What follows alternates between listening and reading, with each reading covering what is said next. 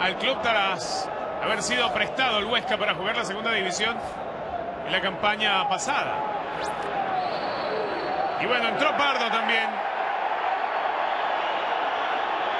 Aquí los roces ya de Susaeta con Carlos Vela. Es lo típico de los clásicos, ¿no? Aquí, aquí se juega mucho más que un partido de fútbol.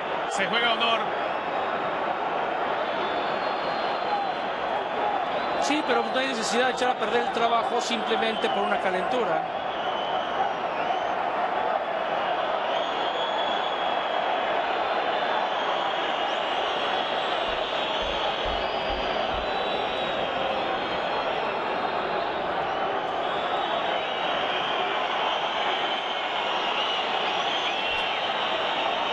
amonestado Vela.